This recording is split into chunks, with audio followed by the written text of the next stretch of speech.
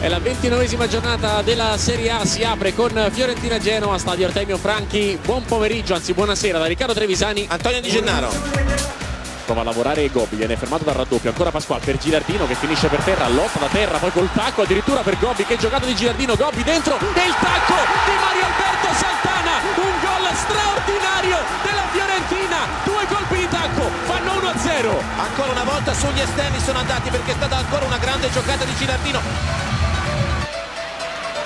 Attenzione a Jovetic che punta l'area di rigore, mette la palla sul destro, va da solo Jovetic, Amelia in due tempi, Questo mette un una pezza sul pallone. Questo è un grande giocatore.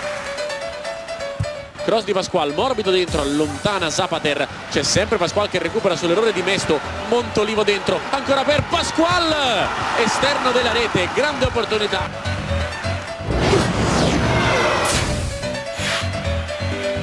Jovetic, grande lavoro con l'esterno per Gobbi, grande possibilità, Gobbi col sinistro, Amelia copre il primo palo e la mette in calcio d'angolo. C'è Jovetic solissimo, Gobbi lo vede ora, Jovetic a tu per tu con Amelia, Jovetic lo salta, Amelia sul pallone, no, calcio di rigore, calcio di rigore per la Fiorentina. Gilardino ha litigato per questo calcio di rigore, lo vuole battere lui, calcia Gilardino, quattordicesimo gol in campionato di Alberto Gilardino. Sempre Pasquale in verticale del Babacar, Bocchetti in anticipo, occhio però al senegalese che è molto veloce, prova a passargli davanti, chiude Bocchetti che buca, Babacar per il primo gol in Serie A!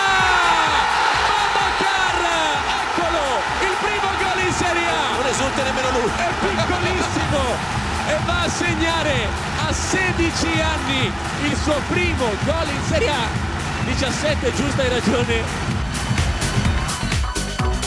è molto bravo Russo che infatti non concede recupero così come fatto nel primo tempo perché la partita non ha più storia. Ha vinto la Fiorentina 3-0